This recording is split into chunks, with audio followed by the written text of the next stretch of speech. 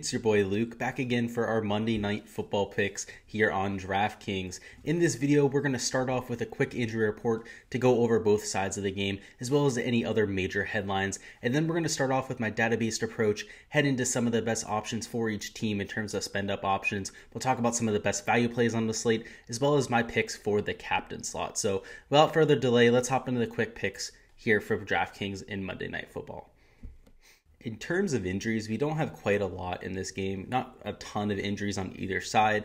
On the Eagle side of things, we have Boston Scott, who is going to be questionable. Not sure whether he's going to be playing or not, but in terms of their number one, we already know that's going to be Sanders. Number two is going to be Gainwell. So Scott really wasn't a big factor in fantasy to begin with. We have Mailata and Brooks out on the O line, which is going to hurt their chances at running the ball. Both of those are key stalwarts on that line. So seeing them out isn't a very good thing. On the defensive side of the ball, we have Brandon Graham and Rodney McLeod also going to be sitting.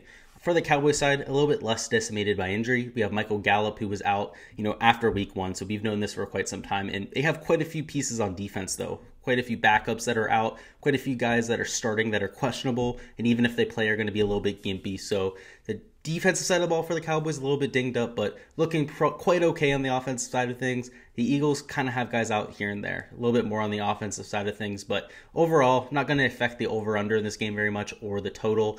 Um, we have a 51 and a half point over under. We also have Dallas favored by three and a half. I think we would have expected that coming into the year, so not like injuries have changed very much. And I expect this to be a very competitive game. You know, not only do we have two teams that are relatively high powered offenses, also teams that don't really prioritize the defensive side of the ball, but this is a rivalry matchup, you know, interdivisional matchup between two teams that don't necessarily like each other, especially their fan bases. So I expect this to be a hard fought game. I expect them to be prepared very much um, on edge for this type of affair, especially on Monday Night Football. And as a result, I'm looking at a high high scoring affair. Right? I have the over under at 55 and a half rather than 51 and a half. I also have the total pretty much at the same at three and a half for Dallas. So I'm going to be playing a lot of the quarterbacks on each side. I'll be playing a lot of the pass catchers as well. Not not many of these defenses, not many of the kickers because I think there's much higher upside elsewhere. So let's start off with the Eagles here. With the Eagles, we have Dallas Goedert at $6,600. He's going to be my number three option, and I don't have him projected anything crazy. You can see 12.9 points right there, but he's not coming in very highly owned. You know, just 21.4% owned. Again, I think a lot of that is because of his seemingly low upside, but he's somebody who we've seen catch one or two touchdowns in a game. He puts up seven or eight catches. You know, he's not going to get you a ton of yardage, but in, on DraftKings, where we get a point per reception, where you're getting bonuses for over 100 yards if he's able to get there, he's still capable of putting up a ceiling game. So I like pairing him up with Jalen Hurts, especially because he's a little bit cheaper than our number two option, who's Devonta Smith at $7,200. He is projected much higher, though, at 16.7 points, but also comes with a massive hike in terms of ownership at 53.7%. So obviously, a teammate with Jalen Hurts in college, they have a great rapport. We've already seen him catch two touchdowns. He's look very polished with his route running as well. So I like going there. It's just a little bit more expensive and obviously going to make you a little bit less unique than other options. So he is going to be a foundational piece of my lineups, but just wanted to make that distinction there between Goedert and Smith. But at number one, the slam dunk option from this team, somebody who's actually my favorite play in the entire slate, that is Jalen Hurts at $11,000. I have him projected for 21.6 points, which is actually less than what we've seen in week one and week two. And that's just because he's been so good with the running, you know, gone out there for 70 plus yards in his first two weeks. Um, he's definitely going to be owned. I have him at 64.5% owned at the flex spot, another 33% owned at the captain slot. So essentially owned in 97, 98% of lineups, and that is completely warranted. I mean, this guy's putting up numbers just like Lamar Jackson. Um, he has just as much throwing upside, you know, perhaps not in much of a high powered offense or anything like that, but so somebody I really like in this instance, somebody I'll be targeting a ton on this slate. Now for the Cowboys side of things, we have Ezekiel Elliott there at number three somebody who isn't priced really where he should be, especially for a single game slate. I mean, $8,400 for Ezekiel Elliott. If I told you that last year, you would be hammering him in in this slot. And I don't have his projection at anything crazy. I actually have him projected at less points than somebody like Devonta Smith, but at 16.6 points, there's definitely a scenario where he goes out and smashes that kind of projection. I mean, he's only being owned right now in 31.4% of lineups, which is a little bit disrespectful for somebody of Elliott's value. I mean, he's somebody who we've seen get 25 to 30 touches in a game before in relatively consistency, um, consistently, especially two to three years ago. So Elliott, somebody who got a ton of work there in week two against a relatively soft defense on the Eagles side of the ball. There's definitely an avenue or a set of circumstances where he ends up carrying the load for this offense. So definitely makes my top three. Um, not somebody that I want to be using in a in a game flow where I expect a high scoring game. You know, that'd be a little bit more of a shootout. Looking for more of the pass catchers from this team, but for more of a lower scoring affair, for something that's a little bit more of a route for the Cowboys side, Ezekiel Elliott is actually one of my favorite plays in those game flows. At number two, we have CeeDee Lamb. He's $9,800, and I haven't projected for a ton of points in this game. Again, I expect this to be relatively close a relative show, um, shootout as well. So I'm projected for 17.8 points and being owned where he should be at 57.5%. Sorry, 57.8%. I mean, he's somebody who's very high upside play, is very good after the catch, also gets a ton of volume in this offense as well. So not only is he matchup proof, you know, he's going to get his licks no matter what in this offense. He's somebody you can play in the slot, you can play him outside. Um, they could take him away from the number one corner on the other team. Uh, you can't really say that about Amari Cooper, right? A little bit more of an outside the field specialist. Um, so that's why the Lamb is at number two and not somebody like Amari Cooper. But at number one, we have Dak Prescott at eleven thousand two hundred dollars. I don't think I had to tell you to play Dak. I mean, has had a great start to the season. Was even better there in 2020 before he got hurt. So could be due for even some positive regression. Could get better as the season goes on. So at 19.8 points, I really like the projection right there. It's very solid. Not as high as somebody like Jalen Hurts because he doesn't have that rushing upside. Again, he's being much more cautious due to that ankle injury, but going to be owned in a rate about 70% of lineups. Again, that's just about right. I'm trying to fit in both these quarterbacks in essentially every lineup that I'm running out there, trying to get at least one more elite option in that lineup and round it out with some pass catchers. That's my strategy there. I love going to Dak Prescott, but definitely like Jalen Hurts with a little bit more upside in this game. Now getting into our values. At number three, we have Blake Jarwin at $3,000.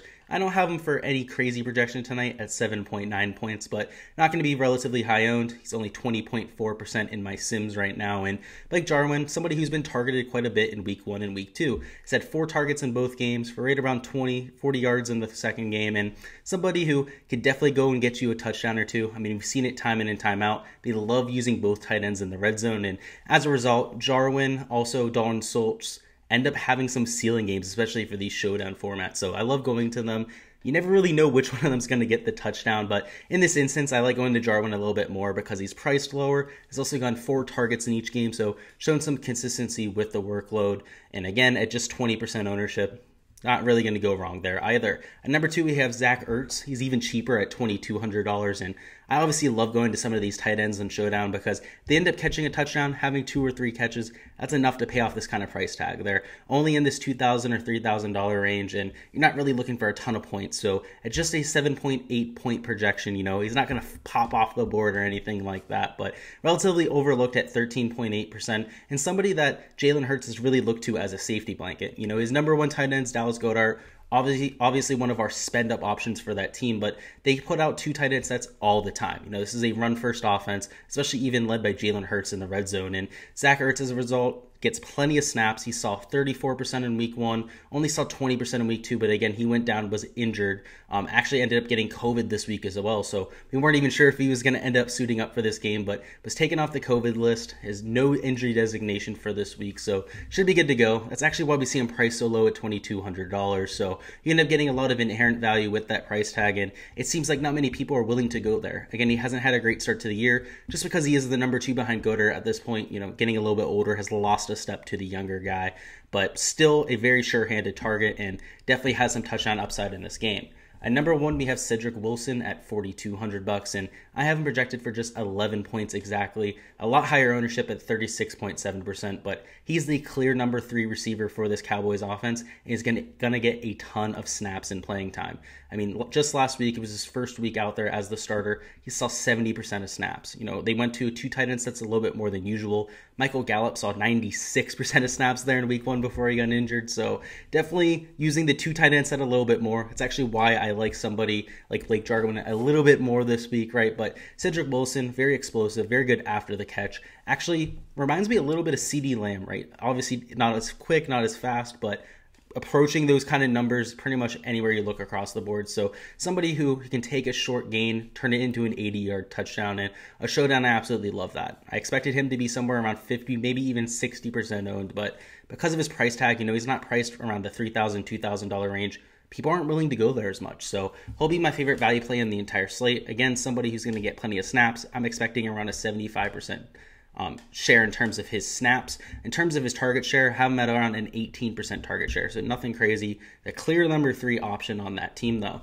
In terms of our captains, I have three captains that really stick out. Number three, we have Ezekiel Elliott at $12,600. I told you guys before, there's definitely an instance where he goes out there and just controls this offense. There in week two, they kind of tried to do it. They didn't throw the ball very much with Dak Prescott. They really tried to lean on Ezekiel Elliott. And to be honest with you, against the Chargers, it did not work, right? That Chargers defense, that front seven really stepped it up. That's why we saw them lose that game. That's why we saw such a low scoring affair with two of the highest volume offenses in the NFL. And again, I don't expect them to come out and try to run it down these guys' throats, but this is a very good price on somebody like Elliott. So if you get him in there at $12,600, you have no problem fitting in Jalen Hurts, maybe even Devonta Smith, and still getting one stud option from that Cowboys team. So it makes your lineup just a little bit more balanced than some of these other captains you'll see on this list. Again, projected for 24.9 points, just 12.9% ownership at the captain slot. So I don't expect many people to be rostering him. You know, I expect a lot more people to go to somebody like Jalen Hurts, maybe even Dak Prescott or CeeDee Lamb. But I really like the upside right there. Again, it's a little bit game script dependent. You know, we need something to happen, right? We need this to either be a blowout or a game where Elliott scores two to three touchdowns. But both of those are definitely possible, and that's why he makes my captain list. Number two, we have CeeDee Lamb at $14,700. I've projected a little bit higher than somebody like Elliott with quite a bit of a quite a bit of a price hike, so you definitely have a little bit of opportunity cost right there. But at 26.7 points at just 14.5% ownership, Lamb has one of the highest, if not the highest ceilings on this entire board. Somebody you can take, again, a five yard gain, somebody just like Cedric Wilson, who has that after the catch ability on steroids. Right? Again, I said Cedric Wilson, kind of approaching that kind of level of receiver, but the main guy is CeeDee Lamb. You know, he's going to be out there for every snap this game. Somebody who's definitely going to get eight to ten targets. He essentially does week in and week out. So definitely like him there at number two. Probably don't have to convince you too much of that. At number one, though, we do have Jalen Hurts, who's by far my favorite captain slot. Captain play for the captain slot on this play. Yeah, I'm at $16,500. I am projected for 32.4 points and 33.4% ownership, and just somebody you essentially have to play at captain, you know, just like Lamar Jackson more often more often than not, this guy's going to go out there and end up in the optimal play. Just has a ton of rushing upside. We've seen 70 plus rushing yards in the first two games. We've also seen plenty of passing upside as well. I mean, he opens up so many holes for himself because he presents that rushing threat. So, somebody who's in a high volume offense, this is a relatively high total game. Again, 51.5 points. I don't think you have to overthink it. This guy's going to go out there, get you at least 20 fantasy points, if not closer to 30 even 35 fantasy points, he has that kind of upside. That's all I've got for the Monday Night Football picks, guys. Go ahead and let me know in the comments who you have as the highest score on the slate for DraftKings. Would love to get some debate down there and go ahead and let me know in the comments section. As always, guys, I really enjoy your support here on the channel. If you guys haven't already gone ahead and liked and subscribed, go ahead and make sure and do so. If you guys enjoy data-based fantasy content like this, make sure to check out my channel for even more content. I have content on the NFL coming out in terms of the full week four slate coming out this week. We also have showdown slates coming out later on, as well as golf content for any golf guys and MMA content for the UFC card. So lots out there for all of you guys. So make sure to subscribe to make sure you get all of that content. But thanks again for stopping by, and I'll see you guys. And again, good luck with any of your lineups that you put in for tonight.